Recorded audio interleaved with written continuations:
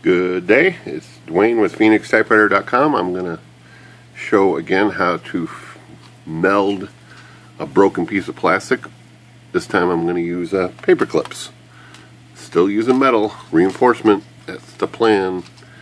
Last time I used a, uh, you know, a paper clip like this, or not a paper clip, a washer like that, a lock washer. But the same thing will work with paper clips or any metal piece that is appropriate. So we're going to bust this knife in half and do it again. Let's bust this sucker. Ah, yeah, yeah. Okay.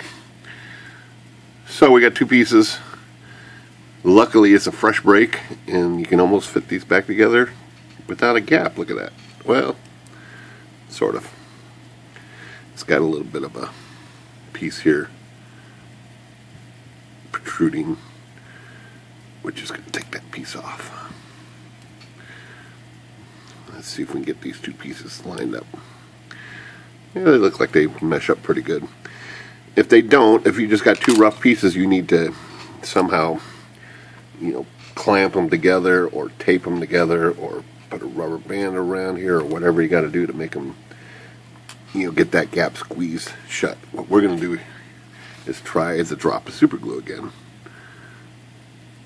And just a minimal amount there.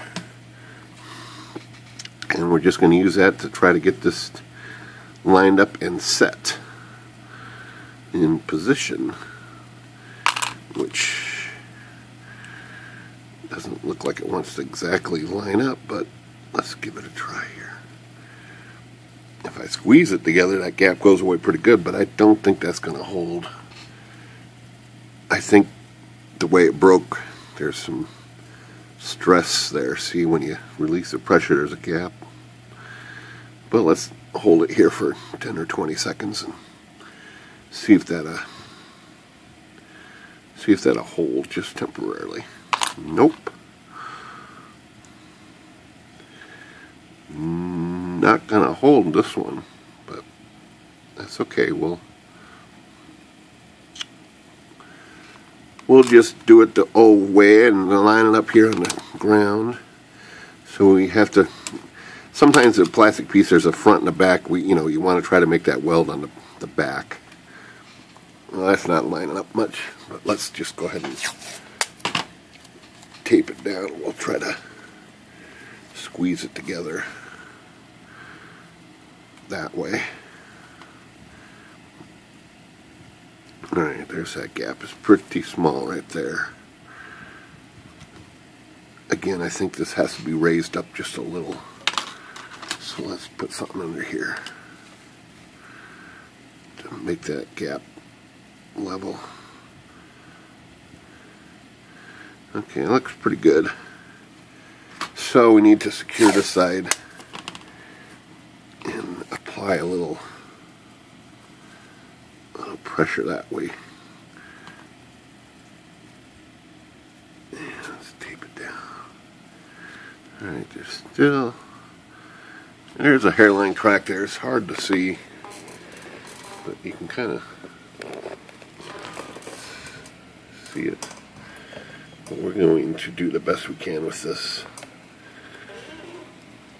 this preparation. Okay, so what I have here now is a couple the jumbo paper clips. These are the, the bigger ones. Sometimes, depending on what you're trying to do, you can use smaller ones. Sometimes if the material is really small, you can you can grind this down and make it even smaller if it's a micro repair type thing because these are generally for business machines, so smaller pieces of plastic that break.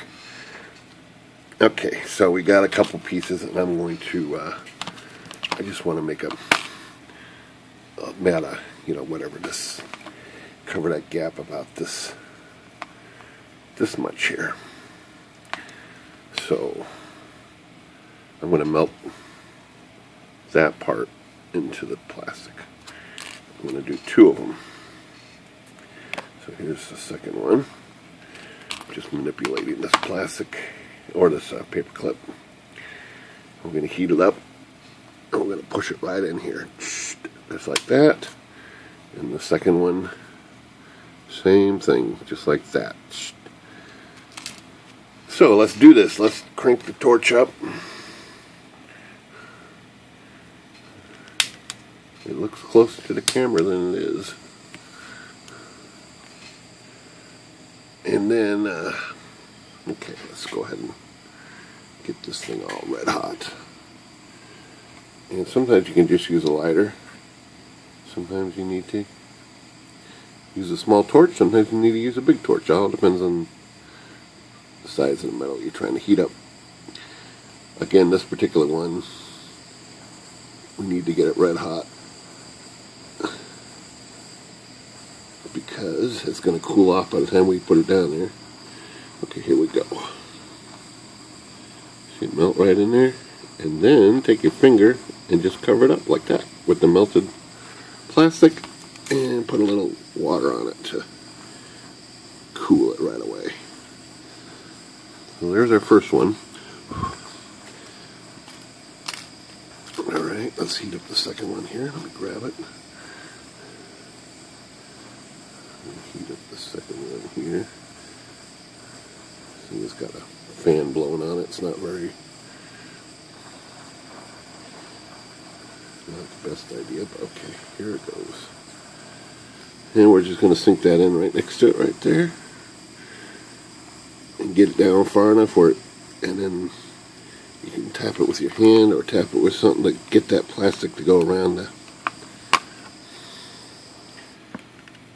around that paper clip.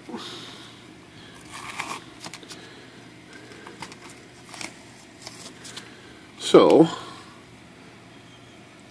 this one here is a little deeper, and I got that plastic to go kind of around. And this is one that's not quite as deep, but you can see that it's down in there, this side. A little bit of a, it kind of went through that one a little bit. You can see the irregularity there. This is the chip that was in there. So let's take the uh, Dremel tool and cut these little ends off.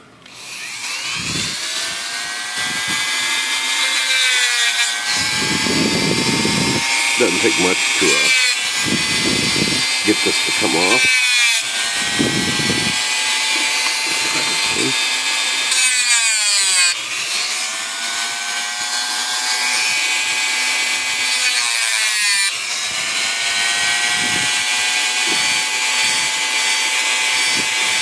it's strong enough that you're not going to risk uh, popping that out because it's in there pretty good.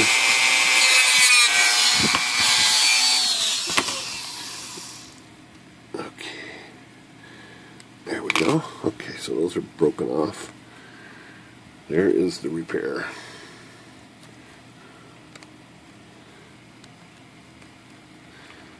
So that is a melding repair, I call that. This side's not too bad. You can see a little bit of irregularity that melted through, but but pretty good. This definitely has a lot of strength. Uh, this direction, like this. This is pretty strong. I mean, I can almost cut through this. So it's pretty strong this this way. It's this flexing that that is still the weakest of the points. So let's take a look at another knife and see again how much flexing it takes. Flexes quite a bit before it breaks. That's that's a lot of flexing. Let's just see how strong this one is. We're gonna if you really wanted it strong too, by the way, you can do this side too. Um, I would, if I was going to do both sides to be particular, I would have set this one up a little higher and this one more in the middle. And then when you do this side, uh, the opposite, so the side is the highest. So that way the, the two metals won't, you see what I mean, they'd be spread out. You could do both sides and that would be doubly strong. But we only did one because in case this side is the side that you look at, we don't want to see anything. This side's got the metal repair. Okay, let's flex this and just see how strong it is. We broke that one. And we know it's strong this direction. this way is the weak spot. So let's flex this.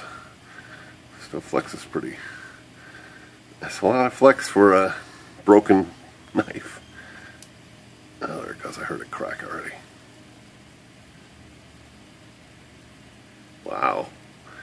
It just bended. It, it did finally break that piece out of there, but it's still holding. That's a pretty good repair. I don't care what you say. I'm going to do some more of these, and we're going to we're going to show you how to meld all kinds of different plastic in the next month or so.